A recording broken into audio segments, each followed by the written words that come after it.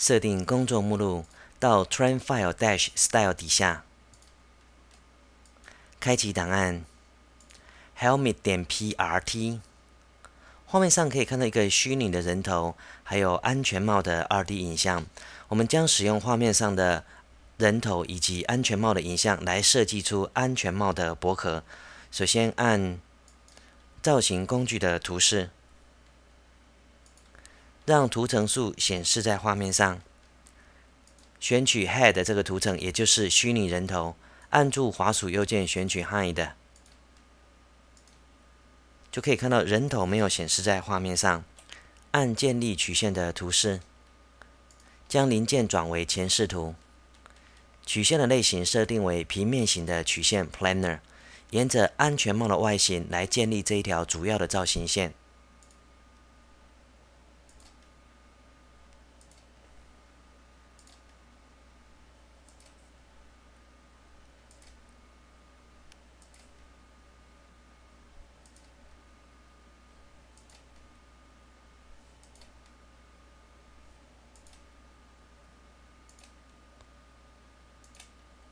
按勾选的记号，接着按编辑曲线的图示，按这个图示以后选取这一条曲线，按 Save 的，并将比例的大小设定成一百，按打勾，可以看到曲线的曲率留在画面上，将这个区域放大，调整曲线上的点。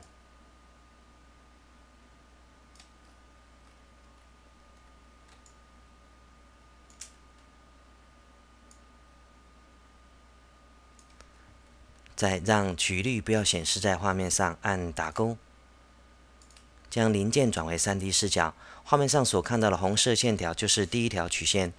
让基准平面显示在画面上，将工作平面设定到基准平面 Front，让基准平面不显示。让图层数显示在画面上以后，选取 Head，按住滑鼠右键选取 Unhide。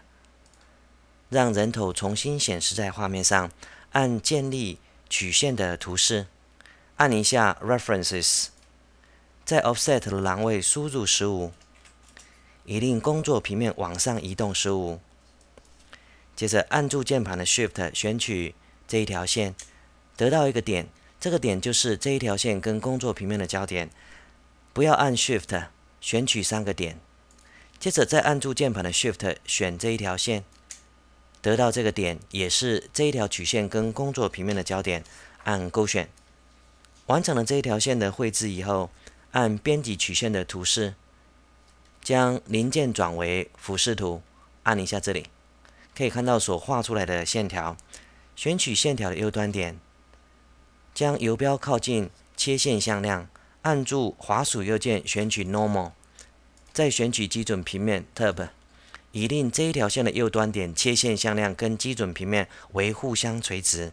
选取左端点，游标靠近黄色的切线向量，按住滑鼠右键选取 Normal，选取基准平面 Tab。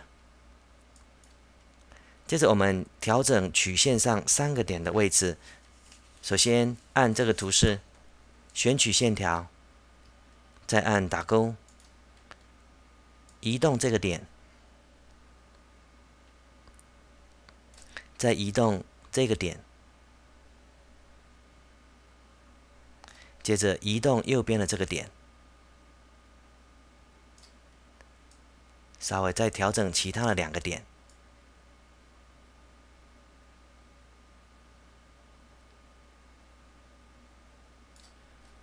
按这个图示让曲率不要显示在画面上，按打勾，将零件转为 3D 的视角。红色的线条就是完成了第二条线，接着建立第三条曲线。首先让工作平面设定到基准平面 Right，让基准平面不要显示在画面上。按建立曲线的图示，按 References，将偏移的量设定为一百七十五。可以看到工作平面大致位在零件的中央。接着按住键盘的 Shift。选取这一条线，接着不要按住 Shift，选取三个点，再按住键盘的 Shift 选取这一条线，按打勾。完成了这一条线的绘制以后，按编辑曲线的图示，将零件转为测试图 Side，点选上方的这个点，出现黄色的切线向量以后，将切线向量设定为与基准平面 Top 垂直。按这个图示选取线条，按打勾，可以看到线条的曲率留在画面上，将这个点。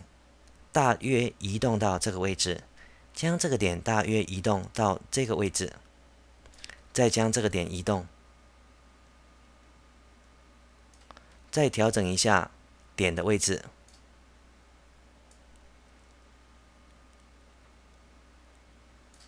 按打勾，再按这个图示让曲率不要显示在画面上，将零件转回 3D 视角。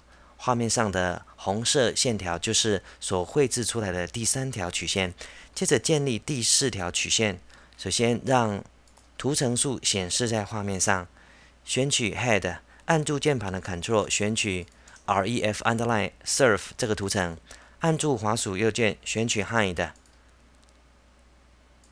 就可以看到画面上没有显示出人头以及安全帽的影像。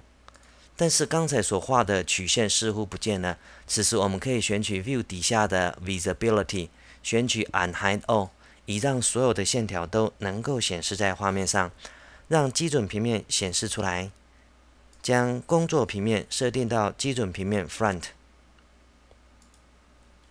让基准平面不显示。按建立曲线的图示，选一下 References，将偏移的量设定为一百。按住键盘的 Shift 选取这一条线，不要按 Shift 选一个点。按住键盘的 Shift 选这一条线，不要按 Shift 选一个点。再按住键盘的 Shift 选这一条线。通过五个点就建立出这一条曲线，按打勾。按编辑曲线的图示，将零件转成俯视图，再按一下这里，选取左端点，将左端点的切线向量设定为与基准平面垂直。右边的端点选一下，也设定它的端点切线向量与基准平面垂直。接着按这个图示选取这一条曲线，按打勾，拉动这个点，再拉动这个点，稍微再调整这两个点，按打勾。让曲率不显示在画面上，将零件转为 3D 的方位。画面上所看到的就是第四条曲线。接着，我们利用这四条曲线来建构曲面。按建立曲面的图示，选取第一条线以后，按住键盘的 Ctrl，选取第二条线、第三条线、第四条线，按 OK。画面上会显示出这里的网格跟这里的网格，代表我们所选取的四条边界曲线可能铺出这个区域跟这个区域。我们点选这个区域的网格，就可以看到这个区域显示出曲面的颜色。同时可以看到这里有一个箭头，代表做出来这个曲面在这个边界线的地方跟基准平面为垂直。按打勾，再次建立曲面，选取第一段线。按住键盘的 Ctrl，选取第二段、第三段以及第四段，按 OK，再设定这里为我们所需要的曲面。可以看到这里有箭头，代表这两个曲面相切。可以看到这里也有一个箭头，代表这个曲面在这个边界线的地方跟基准平面为互相垂直。按打勾。接着我们在前方建立出一条曲线，按建立曲线的图示，按这个图示。选取基准平面 right 为草绘平面，按一下 references，将偏移的量设定为四十。可以看到工作平面的位置，按住键盘的 shift，选取这一条线，产生的点是这一条线跟工作平面的交点。不要按 shift 选取两个点，再按住键盘的 Shift 选取这一条线，又产生了这一条线跟工作平面的交点。通过这四个点就产生这一条曲线。按编辑曲线的图示，将零件转为右侧视图 Side，点选这个点，设定这个点的切线向量和基准平面为垂直。再选取这个点，设定端点的切线向量和曲面相切 （Surface Tangent）。按这个图示选取线条，再调整曲线上的这两个点。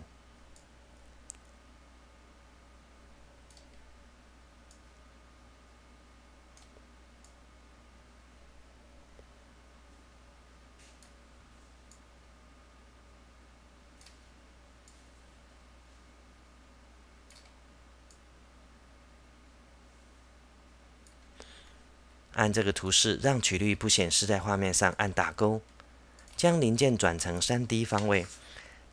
接着在安全帽的后方建立第六条曲线，将偏移的量设定为275，可以看到工作平面的位置。按住键盘的 Shift 选取这一条线，不要按 Shift 选取两个点，按住键盘的 Shift 选取这一条线。通过这四个点产生这一条曲线，按打勾。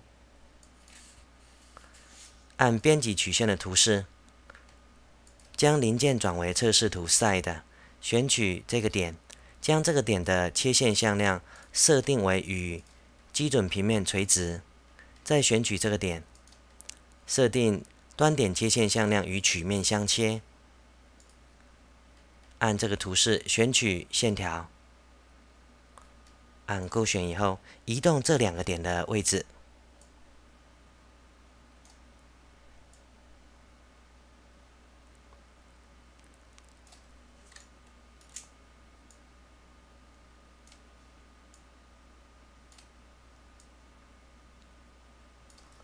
按这个图示，让曲率不显示在画面上，按打勾，将零件转为 3D 视角。接着建立曲面。选取这一条线，按住键盘的 Ctrl 选取这一条线，这一条，还有这一条线，按 OK 就铺设出曲面。Internal 旁的箭头按一下，选取这一条线为内部曲线，按 OK 确认选取完毕，按勾选就建构出这个曲面。接着我们将零件翻转到背后。或是我们可以选取这里有一个 3D Dash Back，在这个区域再建立一条曲线。首先让基准平面显示在画面上，将工作平面设定到 Front，按建立曲线的图示，将偏移的量设定为一百五十。可以看到工作平面的位置，按住键盘的 Shift 选取这一条线，再选取这一条线。通过这两个点产生了一条直线，按打勾，按编辑曲线的图示，选取这一条线的右端点，将这个点的端点切线向量设定为与基准平面垂直，再选取左端点，设定切线向量为与曲面相切 （Surface Tangent），同时设定切线向量的大小为二十七。这里打勾，打勾所代表的含义就是，当我们按打勾离开了造型曲面设计的模组以后，还可以抓到这个参数值来进行设计变更。按勾选，就完成了这一条曲线的建立。接着建立曲面，先选取这一条线，按住键盘的 Ctrl 选取第二条、第三条，三条曲线，按 OK。就可以铺设出曲面。此时，Pro Engineer 会询问我们要这个地方还是这个地方的曲面。我们点选这里，就可以看到曲面。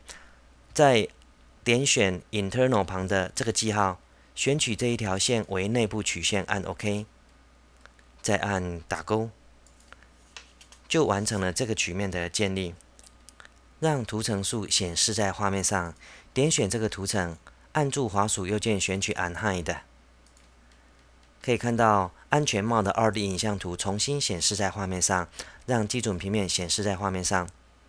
将工作平面设定到基准平面 Tab，接着按这个图示，我们要将零件转为背视图。首先点选这个基准平面为第一参考面，再选取这个平面为第二参考面。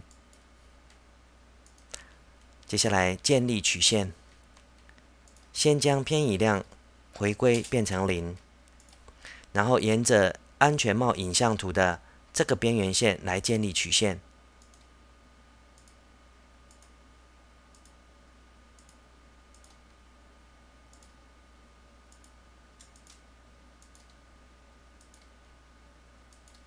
按打勾，将零件转为 3D 的视角。选取这个图层，按住右键选取 Hide。此时可以看到刚才所建立的曲线也不见了。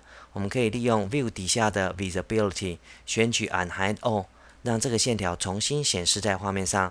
我们要用这一条线条投影到曲面，然后来进行曲面的裁剪。按投影曲线的图示，先点选这个面，按住键盘的 Ctrl 点选这个面，按 OK，以令刚才所选的这个面为投影面。再选取这一条线，按 OK，以令这一条线为投影线。接着选取这个平面，以设定这个平面的垂直方向为投影的方向，就可以看到投影出来的线条。按打勾。接着进行曲面裁剪，按曲面裁剪的图示，先选取这个面。按住 Ctrl 选取这个面，这两个面为被裁剪面，按 OK。